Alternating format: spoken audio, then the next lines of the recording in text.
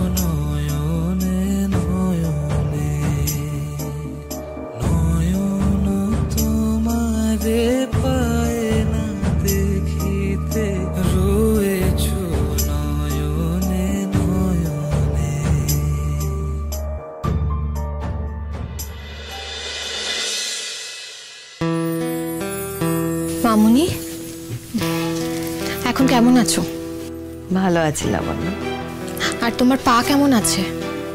পা এখন অনেকটা ঠিকই আছে। এবার বাড়ি যেতে পারব। বাড়ি তুমি চাইলে আগেও যেতে পারতে মামুনি। ইচ্ছে করে যাওনি।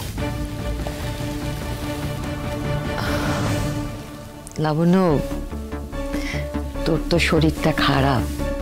আমার কিছু হলে তুই তো ব্যতিব্যস্ত হয়ে উঠিস। তাই ভাবলাম যে এখান থেকে সম্পূর্ণ সুস্থ হয়ে তারপর বাড়ি যাব। নাহলে তো তুই সব সময় আমাকে নিয়ে টেনশনে থাকবি। আচ্ছা সূর্য কোথায়? ও আসেনি? হ্যাঁ এসেছিল তো। তারপর? কোথায় গেছে অফিসে? না না মন্দিরে মন্দিরে গেছে। মন্দিরে? হ্যাঁ। সূর্য মন্দিরে গেছে? না ও তো এইসব কিছু পছন্দই করে না। মামনি, সত্যি করে বলো, সূর্য কোথায় গেছে? আর তুমি বা কেন ওকে আড়াল করার চেষ্টা করছ বলো তো? আমি তো কিছু বুঝতে পারছি না। কেন আমার থেকে লুকোচ্ছ? কি লুকোচ্ছ? লাবণ্য লাবণ্য, তুই আবার কেন অস্থির হচ্ছিস? একটু শান্ত হ। আচ্ছা আমি কি আড়াল করতে চাইব বলতো? কি লোকাতে চাইব তোর কাছ থেকে?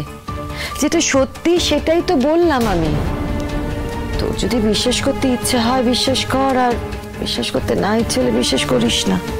কি লাবণ্য তুমি কখন এলে?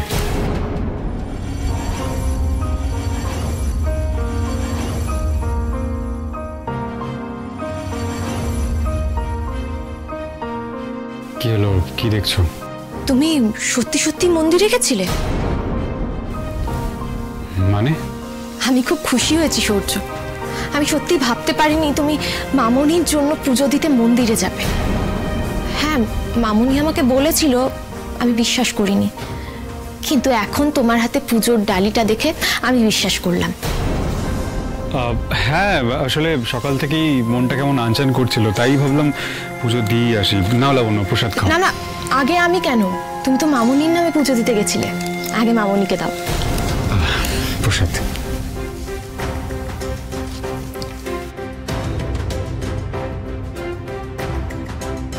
কি রে এবার বিশ্বাস হলো? সরি মামুনি। আসলে সৌর্য কখনো এসব করে না তো তাই আমি বিশ্বাস করিনি। Sorry Shaurya extremely sorry it's completely okay Labanya. আচ্ছা আন্টি আমি একটু ডক্টর চৌধুরীর সাথে কথা বলে আসছি আপনার ডিসচার্জের ব্যাপারে। লাবণ্য তুমি এখানে ওয়েট করো আমি আসছি। ওকে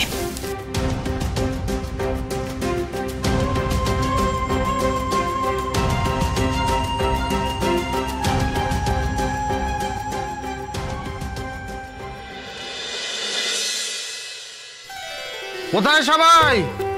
আরে বাইরে এসো শাক বাজাও উলু দাও দেখো কাকে নিয়ে এসছি।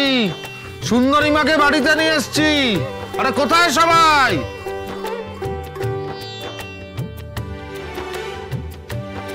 কাল যে তুমি বললে আজ আসতে পারবে না তাহলে আজ এলে কেন? কেন তাতে কি তোমার কোনো অসুবিধা হয়েছে? আরে কি হলো? বাড়িতে কেউ নেই নাকি? না না তা নয়। তুমি বলেছিলে তো তাই। আমি ভাবলাম এত কিছু যখন করলাম তোমাকে গিয়ে নিয়ে আসি। তাছাড়া না এলে জামাইবাবু বাবা অনেক কথা শোনাতো তাই চলে এলাম। কই কই কই আমার কালেক্টর কোথায়? দাঁড়াও জামাই দাঁড়াও। ভেতরে ঢুকবে না এখানেই দাঁড়িয়ে থাকো। কেন মা? আবার কেন দাঁড়াবো? এ, কি হলো মানে কি হ্যাঁ দেখো আরে এতদিন বাদে তুই ভালো হয়ে ফিরে এসছিস হ্যাঁ? আরে কি এমনি এমনি ঢুকতে দেওয়া যায়? বরণ করা হবে, মিষ্টি মুখ হবে, তবে না। কই, বরণ করো। এই, দেখো। করো বৌমা, করো।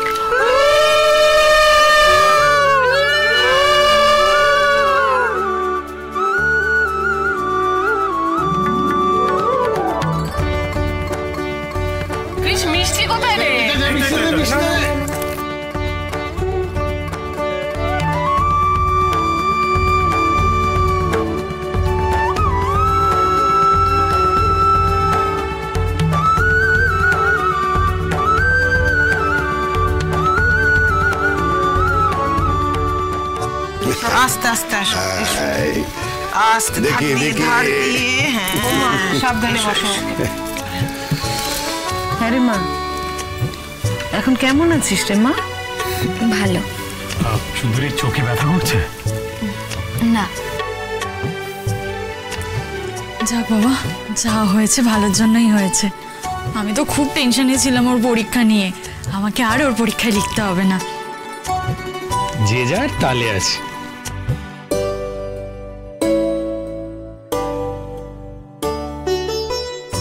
তাই সুন্দরী তুই বেশি হাসিস না। কেন মা? আরে চোখে যদি চাপ পড়ে? না না ওটা তো কাঁদলে হয়। না না না। সুন্দরী তুই হাস। বালাই ষাট আমার নাতনিটা কত কষ্ট পেয়েছে কত দুঃখ পেয়েছে। এখন তো আর সেসব কিছু নেই। এখন তো তোর আনন্দের দিন। তুই প্রাণ খুলে হাস সুন্দরী। এই হাসিটা যেন সারা জীবন তোর মুখে লেগে থাকে। কখনোই যেন সেটা মুছে না যায়। একদিন ওই ডাক্তারবাবুকে নিমন্ত্রণ করে খাওয়াতে হবে। কি বলো বাবা? হ্যাঁ নিশ্চয়ই। আমিও তাই ভাবছিলাম জানো তো। দেখো আজ যা হলো সেটা তো ওনার জন্যই হলো। তা ঠিক উমা। কিন্তু আমাদের জামাইয়ের অবদানও কিছু কম নয়। সুন্দরী, তুই ভাগ্য করে এরকম একজন স্বামী পেয়েছিস। আমাদের জামাই যে কষ্ট তোর জন্য সহ্য করেছে, কজন স্বামী তার স্ত্রীর জন্য এই কষ্ট সহ্য করে, সে বিষয়ে আমার যথেষ্ট সন্দেহ আছে। সুন্দরী, তুই একটা স্বামীর মতো স্বামী পেয়েছিস রে।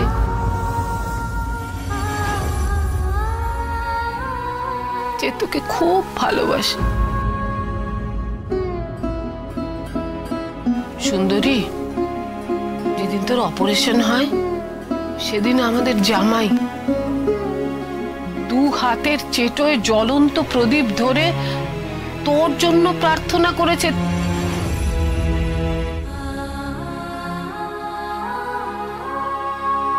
যাতে তোর চোখ ভালো হয়ে যায়। সত্যি জামাই তোমাকে আমরা অনেক ভুল বুঝেছি গো। তুমি আমাদের ক্ষমা করে দিও।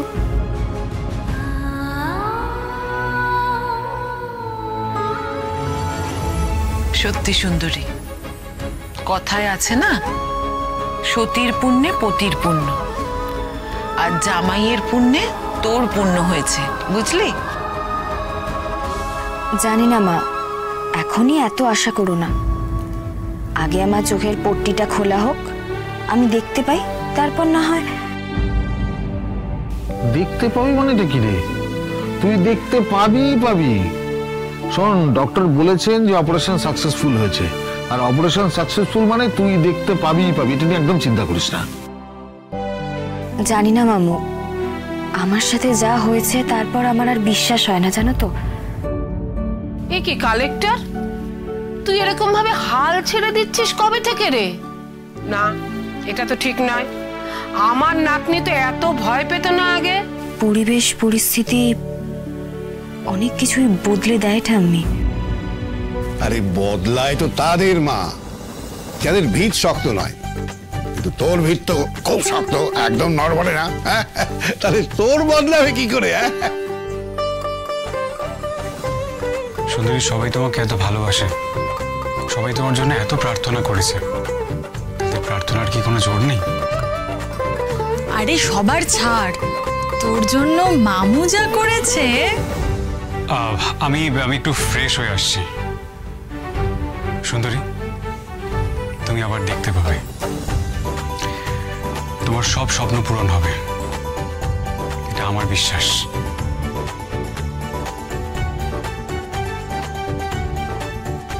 বাবা বুঝতে পারছ তো? চুপ কর। বেশি বললে আবার উল্টো হতে পারে। বৌমা নাচ জামাই না লজ্জা পেয়ে এখান থেকে চলে গেল।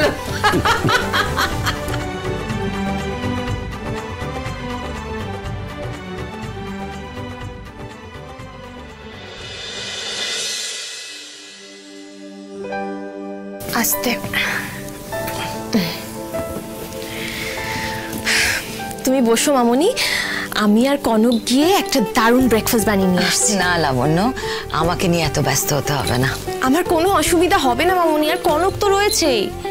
লাবণ্য তোর শরীরটা খারাপ। এই শরীর নিয়ে তুই আগুনের সামনে যাবি বলতো হ্যাঁ? আচ্ছা ঠিক আছে তোর যেটা আমার জন্য বানাতে মন চাইছে সেটা কনককে বল কনক বানিয়ে দেবে। হ্যাঁ ম্যাডাম বলুন না কি বানাতে হবে। আমি এক্ষুনি করে নিয়ে আসছি। কনক সব যদি তোমাকে দিয়ে হয়ে যেত তাহলে তো তোমাকেই বলতাম। আমি যেটা বানাতে চাই সেটা আমাকেই বানাতে হবে। চলো। দেখেছিস? এই কারণেই আমি তিনটে দিন হসপিটালে ছিলাম জানিস তো? গুড মর্নিং আন্টি আপনার ব্ল্যাক কফি লাও না তোমার কফি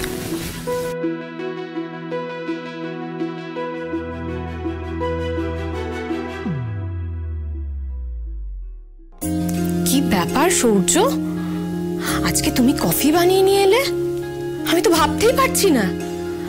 আজকে সূর্য কোন দিকে উঠেছে বলো তো? নাকি নাকি ওঠেইনি? না আসলে তোমরা তো সবাই কথা বলছিলে। আর সকালবেলা ব্ল্যাক কফি না খেলে আন্টির মাথা ধরে যায়। তাই ভাবলাম কফিটা বানিয়ে নিয়ে আসি। তোমাকে তো দেখছি আমায় নতুন করে চিনতে হবে। তুমি তো পুরো বদলেই গেছো। কালকে মামনির জন্য মন্দিরে গেলে আজকে আবার কফি করে নিয়ে এলে। নাইস দেখেছ তো? ভালো করতে নেই। আমি ভালোর জন্য করলাম আর তুমি আমাকে কথা শোনাচ্ছ। আমি কথা শোনাচ্ছি না সূর্য। আমি অ্যাপ্রিসিয়েট করছি। আমার সত্যি খুব ভালো লাগছে তোমার এই চেঞ্জটা দেখে। তুমি সবার জন্য কেয়ার করছ। মামুনির সাথে তোমার সম্পর্কটা এত ভালো হচ্ছে। আমি সত্যি খুব খুশি হয়েছি সূর্য। খুব। আর এই যে এই যে তুমি মামুনির জন্য কফি বানিয়ে নিয়ে এসেছ, এটা যে আমার কি ভালো লেগেছে আমি তোমাকে নিজে বলে বোঝাতে পারব না। মামনি, মামুনি, তোমার কেমন লাগছে? আমিও সত্যি অবাক হয়ে যাচ্ছি, লাবণ্য। তবে তুই একটা কথা ঠিকই বলেছিস। সূর্য কিন্তু অনেক বদলে গেছে। সূর্য আজকাল এমন অনেক কিছু করছে যেগুলো কোনোদিন করবে। সেটা কিন্তু আমরা ভাবিনি। যেমন? ওই যেগুলো তুই দেখছিস সেগুলোই। এছাড়াও আমাকে এইভাবে হসপিটালে নিয়ে যাওয়া রেগুলার বেসিসে আমার খবর রাখা ডাক্তারের সঙ্গে কথা বলা এগুলো ভীষণ আনএক্সপেক্টেড ফ্রম সূর্য তাই না? লাবণ্য তুমি কফিটা খাও না ঠান্ডা হয়ে যাচ্ছে তো। সে তো খাবই। কিন্তু মামুনি এই যে সূর্য তোমার জন্য কফি বানিয়ে নিয়ে চলে এলো। আর আমি কিছুই বানাবো না। সেটা কি হয়? তাছাড়া আমার মামুনিকে আমার থেকে বেশি কেউ ভালোবাসলে বা আমার থেকে বেশি কেউ কেয়ার করলে আমার অসুবিধা আছে। কনক কনক চলো যে স্পেশাল ডিশটা বানাবো বলেছি সেটা বানাই চলো। চলো না শোন আমি আর কোনো কথা শুনতে চাই না মামনি। চলো কনক শিগগিরই এসো এসো এসো। তুমি দাঁড়িয়ে রইলে কেন কনক? তুমি চেনো না তোমার ছোট ম্যাডামকে? যেটা বলেছে সেটা করবে। যাও যাও যাও ওকে হেল্প করো। উফ সত্যি। সূর্য? হ্যাঁ বলুন। এবার বলো তো হঠাৎ করে আমার জন্য কেন কফি করে আনলে? কিছু না আসলে আপনি আমার জন্য নিজের পাটা পুড়িয়ে ফেললেন তাই জন্যই কে বলেছে তোমাকে যে আমি তোমার জন্য পা ফুরিয়েছি কে তুমি? না আসলে আমি যা করেছি সেগুলো সুন্দরীর জন্য করেছি। লাবণ্য যেমন আমার এক মেয়ে তেমন সুন্দরীও আমার আরেক মেয়ে। তাই ওর কথা মাথায় রেখে আমি এগুলো করেছি। তোমার জন্যে নয়। তুমি এটা ভেবো না যে তোমার সঙ্গে আমি ভালোভাবে কথা বলছি বলে হঠাৎ করে আমি তোমাকে পছন্দ করতে শুরু করেছি। আমি তোমাকে এখনও অতটাই ঘেন্না করি সৌর্য, যতটা আমি আগে তোমাকে করতাম। কারণ তুমি আমার দুই মেয়েকেই ঠকাচ্ছ। আমি যেটা করেছি সেটাতে আমার হাত নেই, আন্টি। আমি ইচ্ছে করে কিছুই করিনি। আমি জাস্ট পরিস্থিতির শিকার। কিন্তু আমি জানি এটা আপনি বুঝবেন না। তাই আপনার যা ভাবার আপনি ভাবতে পারেন। আমি নিজের কাছে ক্লিয়ার আমি জানি আমি কি অন্যায় করেছি। আমি ফিল করেছি। আর তাই সেই ভুলগুলো, অন্যায়গুলো শোধরাবার চেষ্টা করছি। তুমি যাই বলো সৌর্য, আমি তোমাকে খুব ভালো করে চিনি। আর আমি তোমাকে কোনো দিনও ক্ষমা করব না।